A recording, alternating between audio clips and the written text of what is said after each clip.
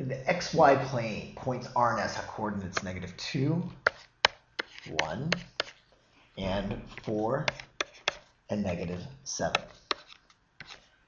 So if point P is the midpoint of the line segment, what are the coordinates of point P? So what we want to do is to find the distance between these two numbers.